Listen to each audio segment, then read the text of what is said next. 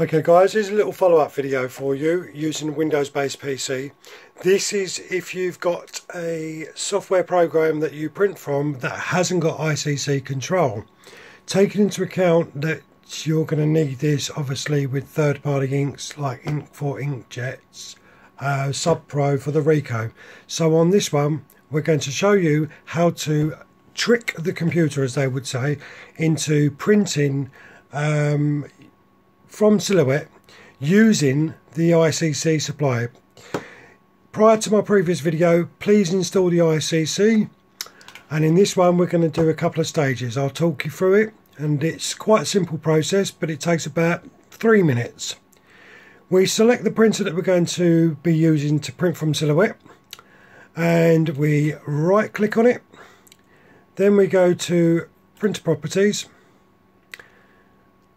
once this box is finished it will come to the printer properties. We go into color management. On color management we left click the color management button and we go up to use my settings and select the printer from the drop down list. Again using left click of the mouse. Once we've done that we click add and another window will open and again we scroll down to the profile and click OK. Now we've set the printer to use the Supro GHEX HD as default and we close that box and we can close this box down. There's two stages to this. The next stage is when you go to print. Again, we need to install a JSON file for this setup.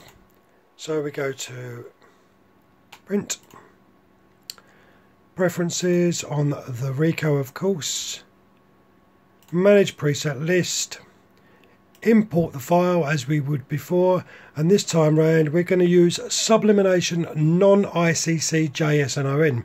This allows the settings to, for the printer to use with Cameo Silhouette and we click OK.